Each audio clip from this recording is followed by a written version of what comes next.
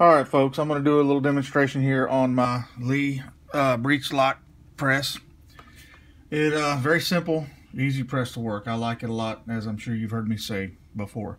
Um, I got 80 something cases here. I got these left over here. I'm going to top off to make it a, a, a 100 round set that I'm going to load. Now these cases have been fired once, well, actually two times. It's military brass.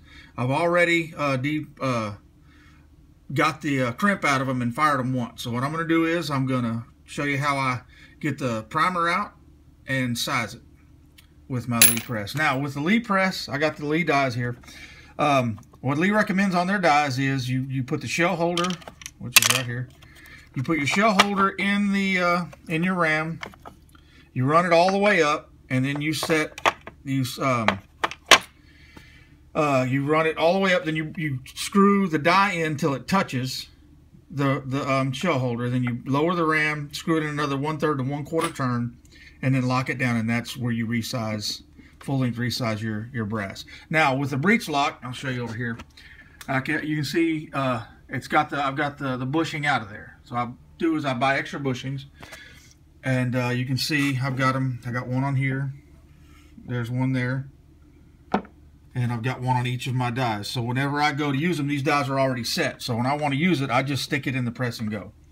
And uh, that's one of the things I like about the breech lock that I find to be very handy. So I'll show you, there's a little indent right here. I don't know if you can see that or not.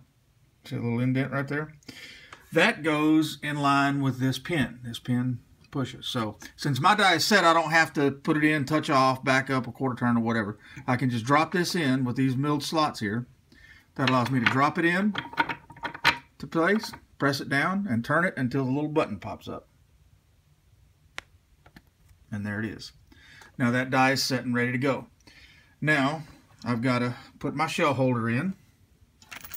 There, I'll slide it in. See, it's got the little little boss fit there on the side that allows it to slide in to there. And then that's in. Now I use, I don't use this priming tool. You can see this little, this little button here comes up right there. And on the other side, you can see this, that piece right there. That's, uh, that's to prime it with the press. Well, I don't use that. What I use it for is that tool allows the primer, when the primer comes out, it comes out this little chute here. It presses the primer down. That tool keeps it from going out the other side.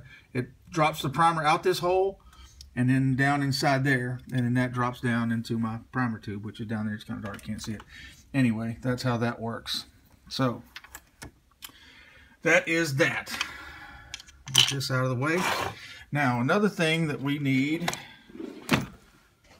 for this job, let me find it. There it is right there. Now, some people use spray-on lube, the one-shot.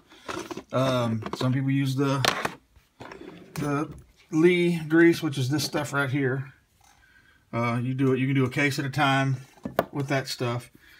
Um, I use the little pad. A lot of people say it's old school, but it works quicker for me. So I'll take my pad, I'll open it up. It's a little dirty, but that's all right. It ain't gonna hurt nothing. And then what I like about the pad is I don't have to do one case at a time and wipe it down. I can throw me four or five pieces of brass right there. Throw me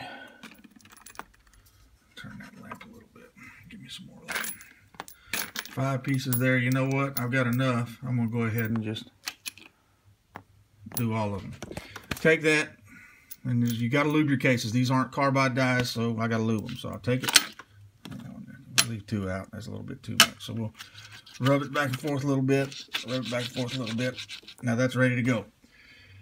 So now what I'll do is I'll take one. Sometimes I'll take one piece of brass every third or fourth piece, and I'll just tap it like that to get a little bit on that on the neck area so the, the ball comes out easier. So let me put this in here and I'm going to run some run some brass here and show you how this press works. Okay. Now take the brass. You have to pull it up a little bit uh, to lower that, that pin in there. Won't let the brass go in. Just put the brass in. Run it up. And there you go. That piece of brass is sized. Move on to the next piece. I don't know if you can see the primers popping out the side there, but if you look over here, you'll see a piece of a primer pop out. and that's catching it down inside that tube. This is my favorite part of uh, reloading. I just like pulling the lever, kind of like playing slot machines, I guess. It's just a it's a cool thing. This is where the where the magic happens, is when you pull that lever. Now, you know, other videos I've shown is a lot of prep. You'll spend more time prepping your brass than you will actually pulling the lever. Pulling the lever is my favorite part. But you gotta go through the steps um, to get there.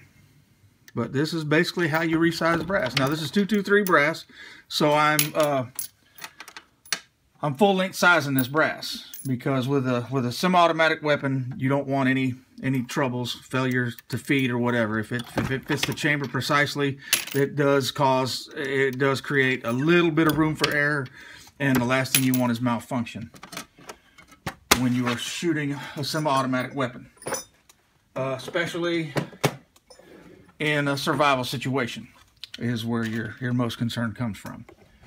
But there you have it. That right there, excuse me, that's how I resize my brass, and that's that. Those last few pieces I've done give me a full 100. Now I'm going to go through, I'm going to resize, I'm going to trim these to length, deburr them, clean the primer pockets, prime them, and then they'll be ready with these to charge and load bullets. So that's that step. That is, uh, that's the, the first step. Actually, it isn't in, in uh, chrono chron chronology, I guess is the word, with reloading as far as the videos I'm putting out, but that is the first step in reloading. And it's that simple. There you have it. And uh, I'll get back with y'all on the next video, which will be uh, charging and loading. Alrighty. God bless America. Y'all be good.